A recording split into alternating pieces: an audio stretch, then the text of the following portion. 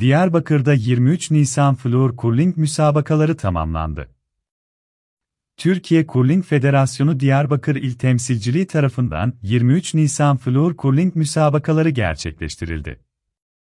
Şehit Polis Halit Gülser Spor Kompleksinde gerçekleşen müsabakalara çok sayıda sporcu katıldı. Türkiye Curling Federasyonu 2023 yılı il içi faaliyet programında yer alan 23 Nisan Floor Curling müsabakası yoğun bir katılım ile gerçekleştirildi.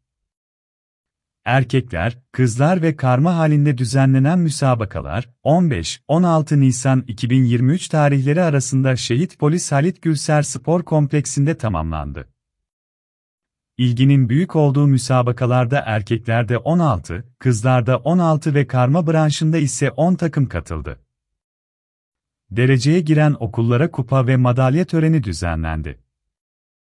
Gayelerinin Diyarbakır'da kurlingi hak ettiği yere getirmek olduğunu dile getiren Flur Kurling Diyarbakır İl Temsilcisi Remziye Kılınçer, 2023 yılı il içi faaliyet programımızda yer alan 23 Nisan Flur Kurling müsabakamızı 15-16 Nisan 2023 tarihinde Şehit Polis Halit Gülser Spor Kompleksinde yoğun bir katılım ile gerçekleştirdik. Bizim amacımız Flur Kurling sporunu Diyarbakır'da hak ettiği yere getirmek. Floor curling sporunun en önemli özelliği adil olmasıdır.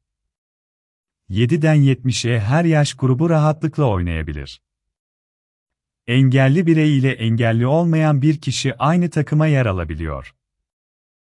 Cinsiyet, yaş, dezavantaj gözetmeksizin herkesi bünyesinde barındıran bir spor. Bizler de Diyarbakır İl Temsilciliği olarak yaptığımız bu faaliyetler ile öğrencilerimize sportif beceri edindirdik, dedi.